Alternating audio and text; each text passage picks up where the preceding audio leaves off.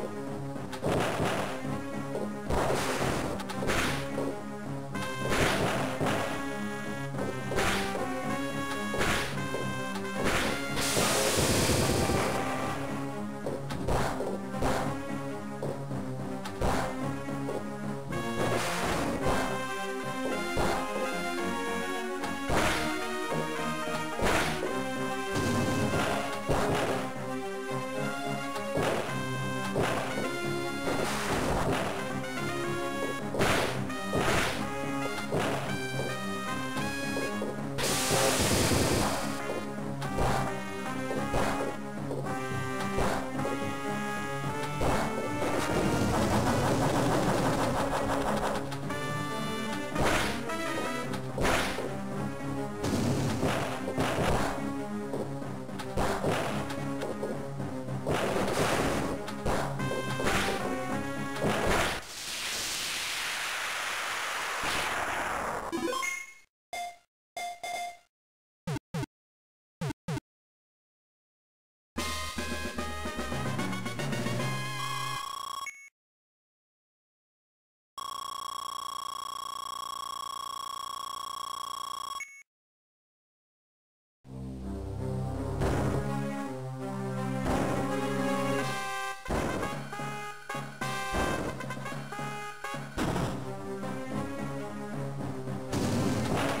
Thank you.